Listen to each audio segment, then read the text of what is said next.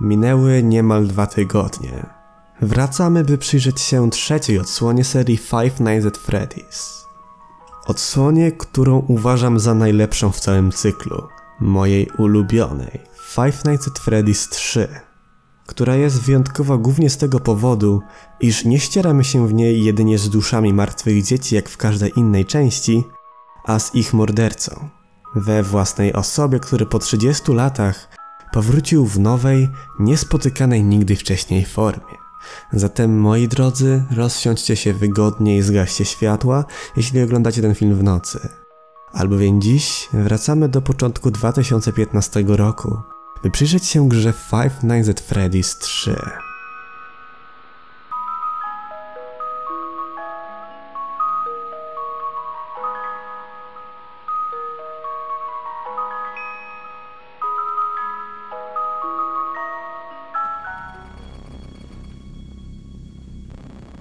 Zacznijmy od teaserów gry.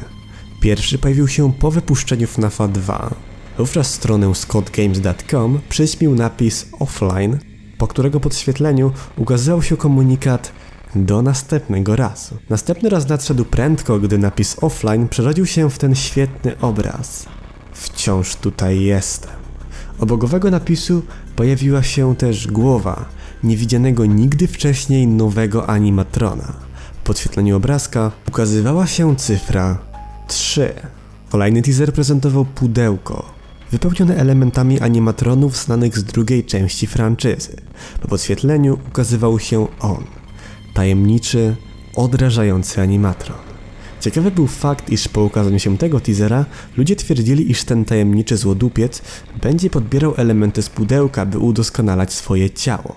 Kolejnym teaserem był napis fioletowej barwy o treści On zawsze to robi. Oczywiste odniesienie do rzeczywistej tożsamości mrocznej persony.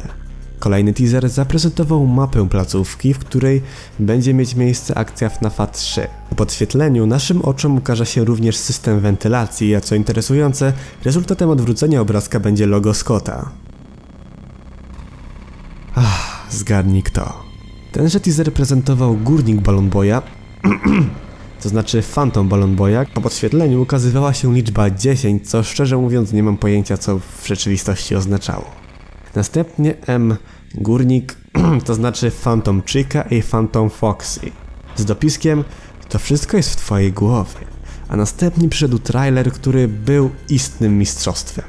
On zawsze wraca. Ta animacja trzęsącego się Springtrapa, czytaj umierającego w teorii fioletowego. Ach, arcydzieło. A w końcu wydano pełną wersję gry, która pojawiła się 2 marca 2015 roku.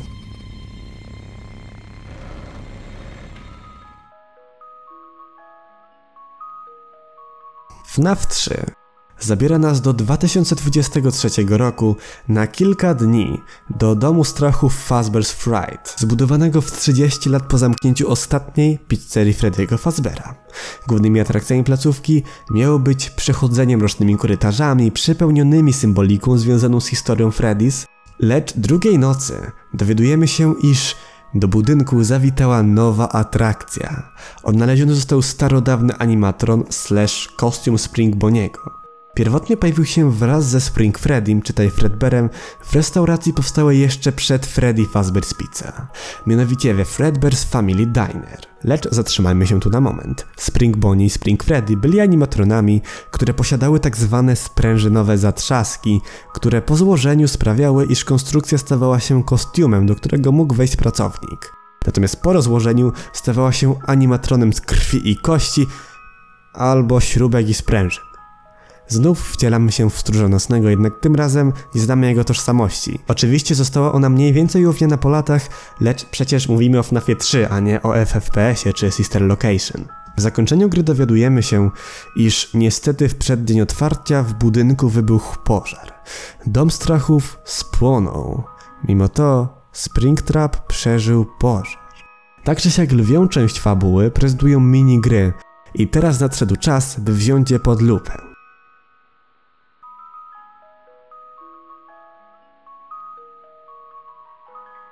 Zacznijmy od minigier, które mogę nazwać mianem regularnych, rozpoczynających się po zakończeniu nocy. Są one niemal identyczne. Przez pierwsze cztery noce gramy oryginalną czwórką animatronów. Musimy podążać za Shadow Freddym, by wkrótce później Purple Guy nas zdemolował. A w minigrze następującej po nocy piątej wcielemy się w ducha piątego zabitego dziecka, dokładniej tego, które symbolizował Golden Freddy. Podążamy do tego samego miejsca, rzecz w tym, że tym razem możemy dostać się tam, gdzie wcześniej nie mogliśmy. Dusze dzieci postanowiły zemścić się na swym mordercy, który w panice chowa się w swoim starym kostiumie. Kostiumie Spring Boniego, jednakże sprężynowe zatrzaski pod wpływem wilgoci rozkładają się i miażdżą jego ciało. Dusze odchodzą, a w ten sposób narodził się nowy antagonista. Springtrap był w 30 lat później zostać przeniesionym do Fazbear's Fright. Oznacza to, że przez całą grę mierzymy się ze słynnym, niesławnym mordercą mordercą dzieci, Purple Gaje. Po zakończeniu nocy piątej otrzymujemy złe zakończenie, w którym dusze zabitych dzieci pozostały w swych zniszczonych przez fioletowego sztucznych ciałach. Istnieje również i dobre zakończenie. Uzyskamy je uruchamiając ukryte minigry, których większość nie rozszerza jakoś bardzo głównego wątku. Cóż, poza tą rozgrywającą się we Fredbear's Family Diner, gdzie pojawia się również Shadow Bonnie. W tych ukrytych minigrach, koniecznych do uzyskania dobrego zakończenia, wcielamy się w Mangle, Balon Boya czy Toy Chicken. Jednak oj, nie musimy kończyć tych gier w logiczny sposób. Musimy lekko zepsuć zamierzenia każdego normalnego twórcy i dostać się do duszy zamordowanego dziecka, a następnie uszczęśliwić je. Po tym, pod koniec gry otrzymamy dostęp do gry o tytule Happiest Day. Wcielamy się tutaj w marionetkę i uszczęśliwiamy ostatnie dziecko, te symbolizujące Golden Freddy'ego. Następnie maski opadają, a dusze idą do nieba.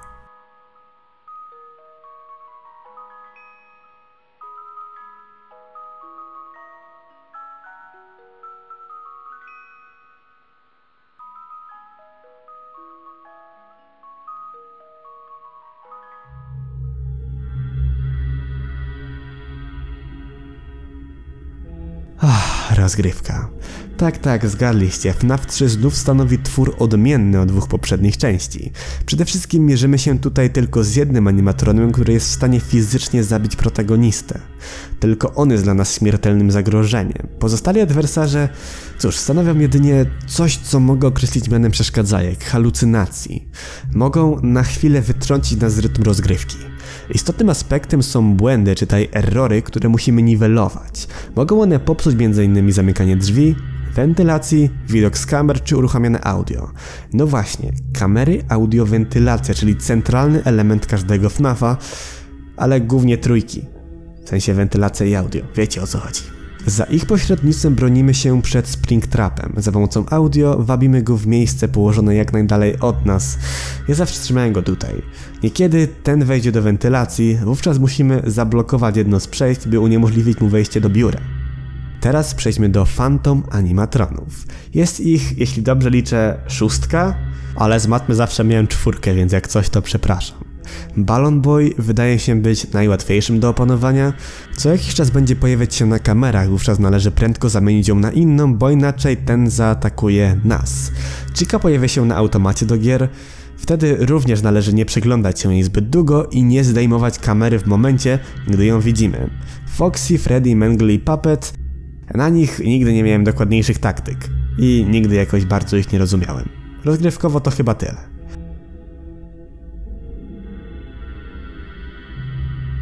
Przejdźmy do sfery audiowizualnej i ach, na to czekałem najbardziej. Zacznijmy od projektu Springtrapa. Mój Boże, jednym słowem to majstersztyk. Ogromny, mechaniczny robot wypełniony w środku gnijącymi wnętrznościami człowieka. Zmasakrowanym ciałem wypełnionym sprężynowymi zatrzaskami, no Springtrap wygląda naprawdę kapitalnie. Uważam go za jednego z najlepszych złoczyńców, jakie dano nam kiedykolwiek. Niestety w FPS-ie musieli to, ech, mówiąc delikatnie, spier... zepsuć. Ech, jako fan tego designu, po zobaczeniu tego, zawiodłem się jak cholera. Jednak wróćmy do omawiania dzisiejszego majstersztyku. Phantom animatrony również zostały oddane przegenialnie, wyglądają jak wyjęte z najmroczniejszych koszmarów, jak spopielone demony otchłani naszych umysłów. Chica nadal jest przerażająca. Balloon Boy również, Freddy poruszający się za szybą, genialny. Dom Strachów posiada ten gęsty, niepodrabialny klimat. Mroczny, duszny i ponury. W tej odsłonie dominuje kolor zielony. Tak naprawdę na każdym kroku. Od napisów po antagonistów i uwielbiam ten koncept. Hm, sfera audio? Tutaj wiele się nie zmieniło. Podoba mi się głos Balloon Boya, czytaj głos dziecka, którym wołamy Springtrapa. Zmienione zostały odgłosy słyszalne przy jumpscarach i cóż, w jedynce podobały mi się bardziej, aczkolwiek brzmi to o wiele lepiej niż ech, to wyjęte z koszmaru coś w dwójce. Jednakże jasny gwincik, muzyczka z minigierek. Oh, masterpiece.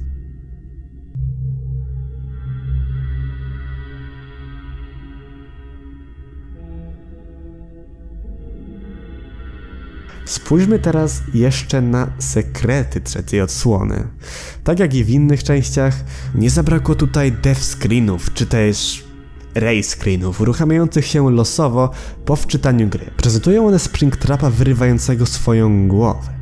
Myślę, że przedstawiają sytuacje, w których Fioletowy próbował wydostać się z kostiumu. Szczerze, kiedy po raz pierwszy to zobaczyłem, niezwykle się przeraziłem. Do tego ten generyczny odgłos w tle. Mój Boże. Niekiedy spotkać możesz Shadow Freddy'ego, który będzie przyglądać się tobie z za rogu, czy tę naklejkę Spring Boniego.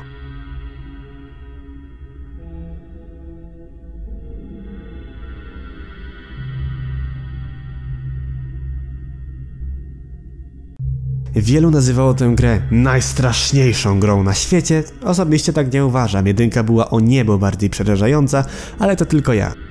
Na YouTubie w 2015 roku FNAF 3 królował i nie będę się tutaj powtarzał. Jeżeli oglądaliście Elevena czy chociażby Mandzia w Polsce, to wiecie o co mi chodzi. Jednakże warto tutaj rzucić okiem na wszelkie utwory muzyczne, których wówczas było naprawdę wiele względem FNAFa. Zjawisko to dotarło również do Polski, a za przykład mogę podać piosenkę Masterczułka.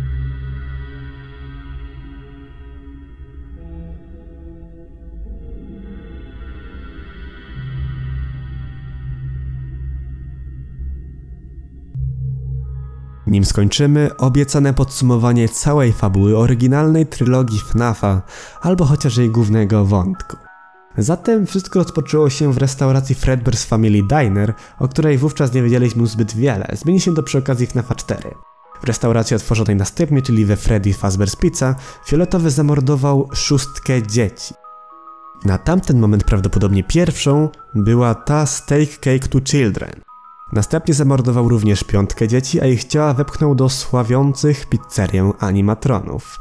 Tenże ośrodek prędko zamknięto, otwarto go ponownie z zupełnie nowymi toy animatronami, lecz równie szybko zamknięto z powodu ugryzienia mającego miejsce 13 listopada 1987 roku. W 93 otworzono kolejny ośrodek, gdzie zakradł się morderca i zniszczył animatrony w celu zatarcia śladów, gdyż zaatakowany przez duszę swych ofiar schował się w kostiumie Spring Boniego i przez niefortunny wypadek został w nim na kolejne 30 lat, by w 2023 roku zostać przeniesionym do Fazbear's Fright, domu strachów stworzonego na kanwie plotek związanych z restauracjami występującymi w ubiegłym stuleciu. Budynek spłonął jednak tuż przed otwarciem. Springtrap jednak przeżył. Tak prezentowała się fabuła FNAFa na tamten moment. Wciąż jednak niewiadome było i w zasadzie pozostaje do teraz, kto był ofiarą The Bite of 87. Wówczas nie wiedzieliśmy też, kto spowodował pożar w Fazbear's Fright oraz co wydarzyło się dalej, jednak mnie najbardziej ciekawi, kim są pozostałe dzieci w Happiest Day. Jednak mówiąc wprost, myślę, że jest to tylko szczegół i nie ma się nad czym zastanawiać. Odpowiedzi na te pytania nie znajdziemy we FNAFie 4. Znajdziemy zaś opowieść rozszerzającą wątek Fredbear's Family Diner i tworzącą coraz więcej pytań. I to cały FNAF 3. Osobiście uwielbiam tą część, kocham ją niezwykle mocno i cóż, nie wiem czy powinienem dalej wstawiać oceny liczbowe, bo to takie jakieś dziwne jest, ale jeśli miałbym już jakąś wystawić, byłoby to 1, 0, 1, 1, 1, 1, 1, 1 na 1 na 10, czyli dużo. bardzo dużo, a tak na serio 10 na 10. Uwielbiam to. Następną częścią będzie ta, której najbardziej nie lubię, czyli FNAF 4, ale o tym za tydzień. Tymczasem bardzo dziękuję Wam za oglądanie. Mówił do Was Monduś. Jesteś tutaj nowy, subskrybuj kanał oraz zostaw łapkę w górę, żeby ten film jakoś tam dalej się pozycjonował. Zanim skończymy, chciałbym jeszcze przypomnieć, że materiały są inspirowane twórczością tego zagranicznego twórcy, a słowem końca chciałbym pozdrowić następujące osoby. Kamil Res, Jan Wrubel, Jiggle, Darker oraz Wilk One. Serdecznie Was wszystkich pozdrawiam, jeżeli Ty również chcesz zostać pozdrowiony w kolejnym materiale, to daj mi proszę o tym znać w komentarzu na dole. Tymczasem jeszcze raz bardzo dziękuję Wam za oglądanie, do usłyszenia w kolejnych materiałach, mówi do Was Monduś i pamiętajcie, że w każdej legendzie zawsze jest ziarnko prawdy. Trzymajcie się ciepło i bezpiecznie, dobrej nocy, smacznej herbatki, cześć!